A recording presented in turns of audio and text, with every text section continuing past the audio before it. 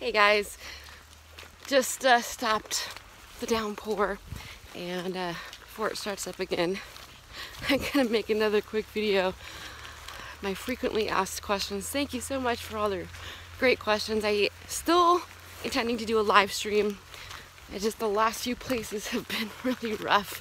I've been up in the mountains with uh, either no cell service or no Wi-Fi or it's very little and I want to make sure I can do a full live stream. Uh, oh, maybe today's the day. Anyway, so thanks again for your questions. One of the questions that I keep getting, maybe this is a good insight for people who are interested or plan to do the Camino. What does it cost to walk the Camino de Santiago? Well, I can tell you from my experience from Saint Jean, France, where I began the France route. Um, here's how I break down the daily expenses it's about 30 euro a day. So if you're looking at the US dollar, that is one US dollar. Basically, it's 81 cents to one euro. So we're kind of screwed in that exchange. And about 30 euro a day. Your accommodations, your albergues, private or public, are going to range between as cheap as 5 euro a night to I paid as much as 33 euro for a private albergue, but that was, that was special because that was in the Pyrenees and that included breakfast and dinner. So let's say an average 10 euro a night if you're doing it the albergue pilgrim way. Now, your average meal is going to be about, if you do a pilgrim menu, which they do, about 10 euro. And that comes with like a first course, second course, dessert, bread, and water or wine. Most of the time, they're not very good. I have had two back to back that were excellent. Excellent. It was rabbit, a lot of food. Conejo, muy sabroso y rico. Me gusta todos. Um, most of the time, the meals are not that good, but they're cheap for pilgrims. And then you've got your lunch and your breakfast and snacks. Maybe you want to have a beer or a special wine that's, you know, local wine. So you got, you're looking at minimum 30 euro a day. And then you have to consider additional expenses which do come up. Maybe you need to replace something, buy something.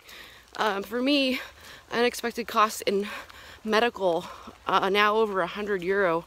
I was not expecting that. So different things to consider as you're going throughout the Camino. On average, I would say minimum 30 euro a day. How long does it take to walk the Camino de Santiago? Once again, I'll use my example because that's all I know from experience.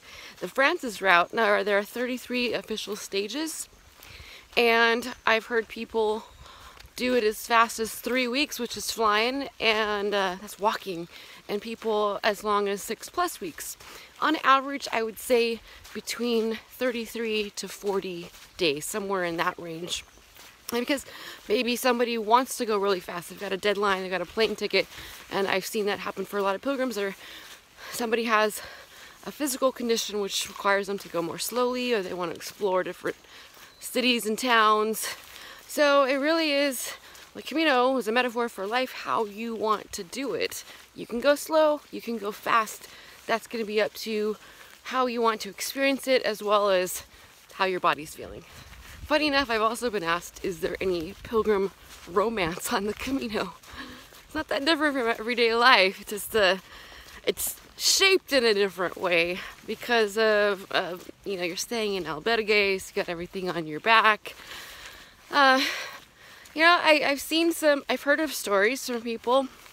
I've seen um, some romances. People fall in love, people break up. I, I see some drama on the Camino too. I've seen uh, messages left on little pylons or written other places on rocks. Usually encouragement, and I love you, keep going, and then full on so and so, you're a liar or you're a cheater. I've seen spray painted big across um, sidewalks. And they know that person's gonna see it, and so is everybody else. So and so is a cheater and a liar, and you broke my heart. You said you were gonna walk with me and then you disappeared. so that kind of thing happens. Uh, another girl, pilgrim that I met, she had a pilgrim hookup and then the guy became like a stage five clinger. And that can happen too. So you're gonna have to either, if you don't wanna see that person every day, um, go a lot faster or a lot slower. And yeah, I have not experienced any of this. I have witnessed it, which is very interesting. Can I take my family, my kids, on the Camino? I get this question quite often as well. Uh, yes and no. I've seen teenagers doing the entire Camino with their family or, or parents. A lot of parents with one son or daughter out here. If they're little ones, you're going to want to think about um, having the bag sent ahead or doing just a portion, staying in hostels, private rooms. Hola, buen camino. Buen camino. Um, for the little ones, because it's a pretty long journey for little kids to do this, and obviously staying outside of albergues. I have seen kids stay in some of my albergues, and they have thrown tantrums and are loud, and believe me, pilgrims do not appreciate that at all. Um, I, I can see this being a really awesome experience for families to do. It's just they need to know how to plan it right.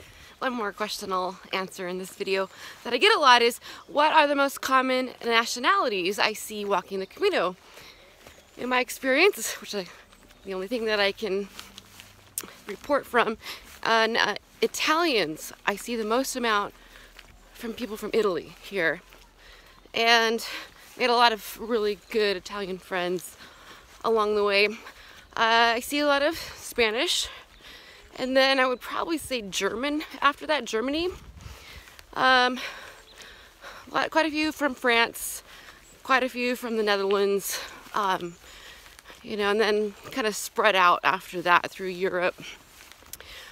Uh, Americans, there are quite a few Americans out here, some Australians, some Brazilians, Peruvians, so South America. And but I would say, oh, and then also I see um, Korea from Korea and Japan. So those are the nationalities that I I see mostly here on the Camino. And it's interesting to see how um, a lot of these different nations, how they travel, some will almost always be traveling in a group and some will be traveling solo or others will be no matter what in a pair and I've, I've had a lot of fascination in observing social circumstances uh, amongst people from different nations on the Camino. Fingers crossed on live stream today. Thanks for your questions and buen camino.